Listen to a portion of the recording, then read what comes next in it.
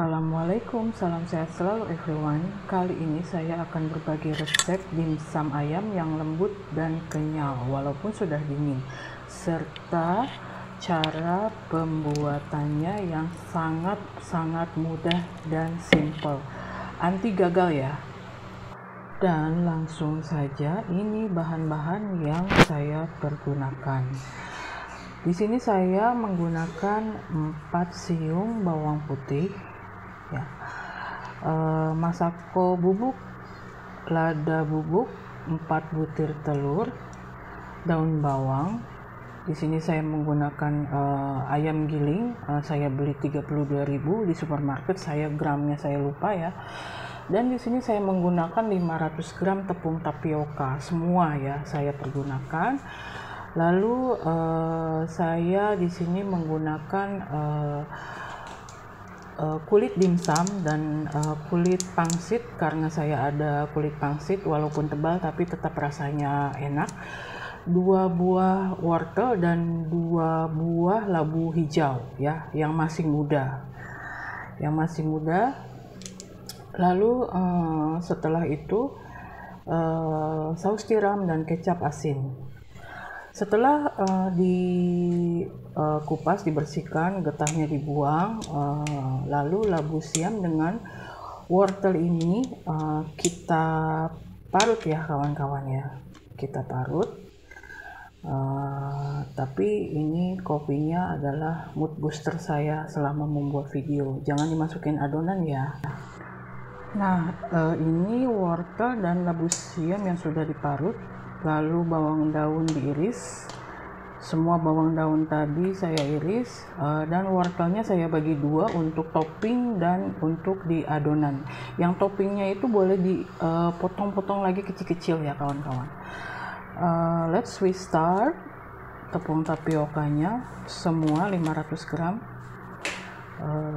saya pakai untuk membuat adonan.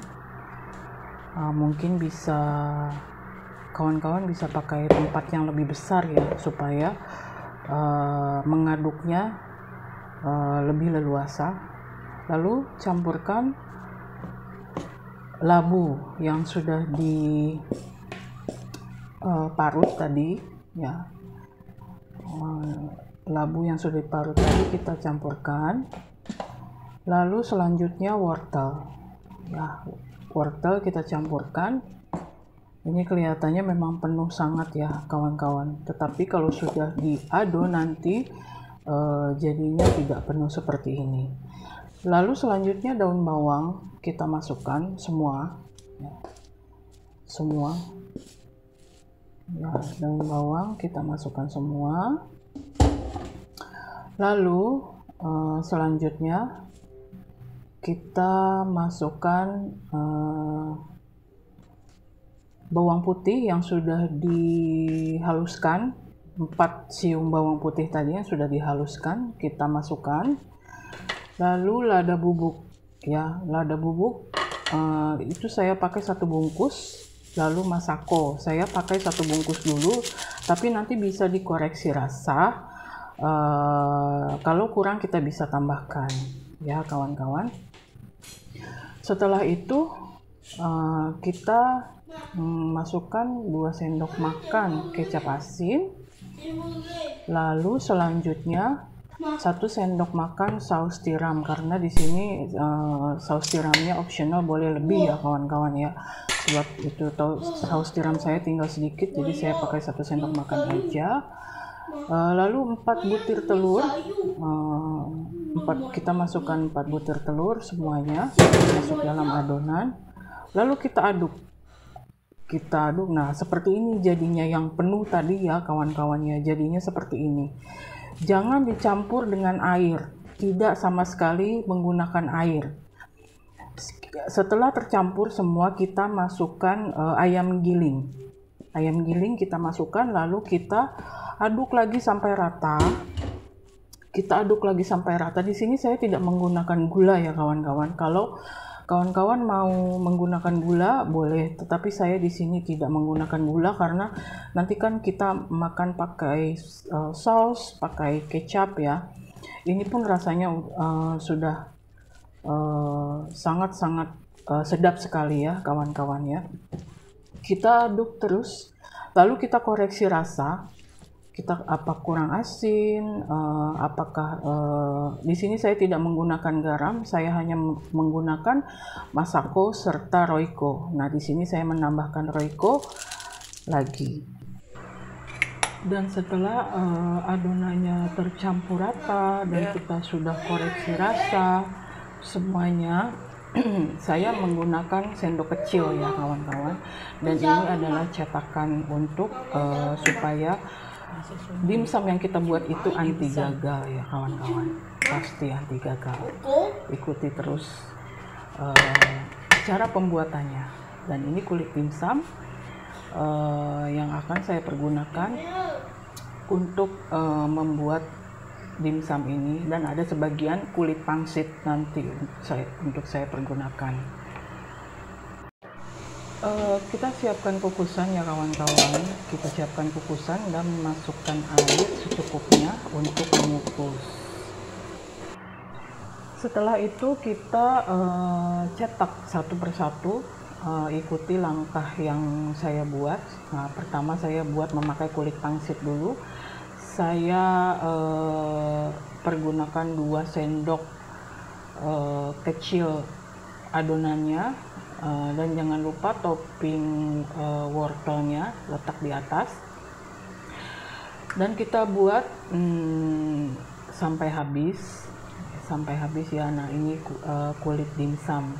Jangan mempergunakan minyak ya kawan-kawan. Saya tidak mempergunakan minyak. Dan dia nanti uh, kalau sudah matang dia akan uh, terlepas dari cetakannya uh, dengan bagus ya kawan-kawannya kita uh, masukkan semua adonannya satu persatu uh, sampai sampai adonannya habis ya kawan-kawan. Ini kita, uh, 500 gram tepung tapioka ini bisa uh, dapat 60 uh, dimsum ya kawan-kawan. Dan anak-anak saya sangat suka sekali dengan dimsum ini. Rasanya sangat lezat dan empuk lalu selanjutnya kita uh, setelah airnya mendidih uh, air kukusan ini uh, kita mulai untuk mengukus. Kita masukkan satu persatu hmm, uh, untuk mengukus. Kalau kalau ada lebih cetakannya uh, boleh boleh juga ya kawan-kawan ya. Uh, biar uh, proses mengukusnya lebih cepat kalau saya seadanya aja uh, dan saya uh, kalau sudah masak saya uh, buat lagi berulang-ulang sampai adonannya habis ya kawan-kawan. Lalu kita tunggu sampai 25 menit dan ini uh, dimsumnya sudah masak ya kawan-kawan. Dimsumnya sudah masak. Setelah masak uh, ini penampakannya yang uh, pakai kulit pangsit. Uh, kalau uh, tidak suka dengan uh, tepi-tepinya boleh dipotong ya kawan-kawan.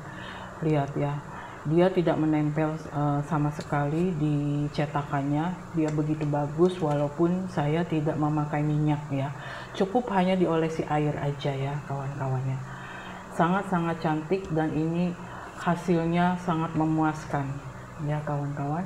Dan ini uh, uh, yang saya memakai kulit uh, dimsumnya ya.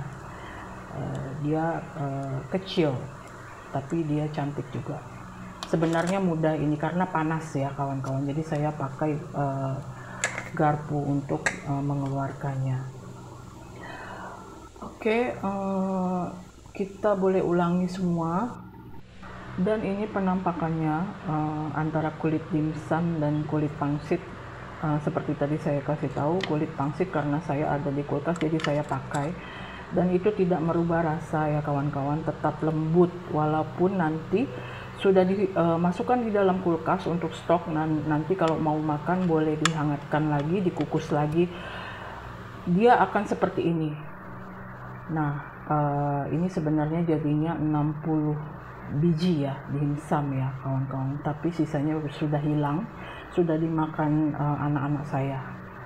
Ya kawan-kawan begitu Oke kawan-kawan selanjutnya selamat mencoba resep dimsum homemade dari saya